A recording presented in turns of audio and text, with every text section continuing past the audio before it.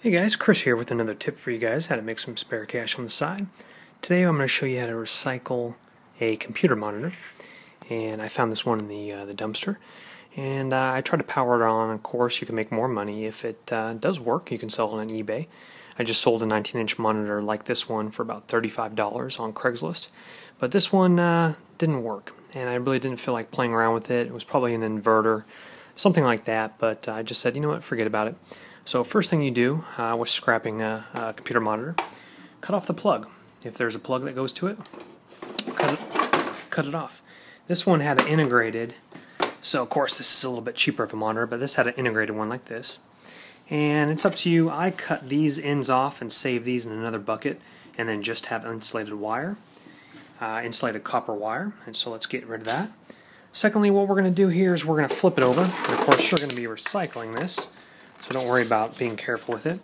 We're going to go ahead and take apart the screws here, and we're going to get out the motherboard inside of there, and we're going to go ahead and recycle that separately, so let's do that now.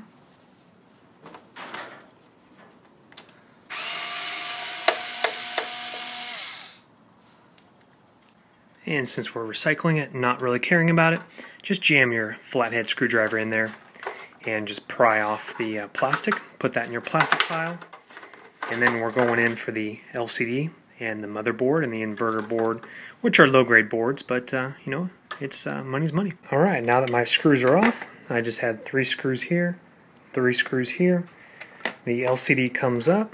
I'm going to go ahead and just clip these wires, separate the LCD and the aluminum backing and the metal backing here, and scrap the plastic, scrap the insulated wires, and scrap the metal all by themselves in different categories.